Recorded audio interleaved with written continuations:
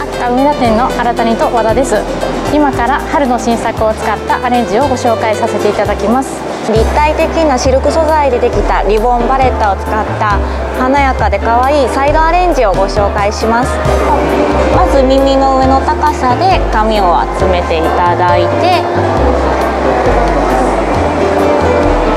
集めた髪を時計と反対方向に2回ねじっていただきます。そうしましたらねじった毛束を頭につけて上にスライドします。次にバレッタを右側から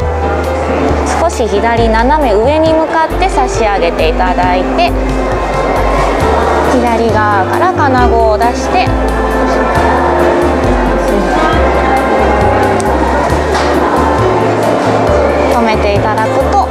ハーアップが出来上がりです。続いて残った紙を1つにまとめていただいたら時計と反対方向に1回だけねじりながら左手にバトンタッチしていただきます。そうすると左側にくぼみができてまいりますのでこちらのスティックでくぼみの硬い部分に刺して縫い物作業をするように差し込んでいただければサイドアレンジの完成です。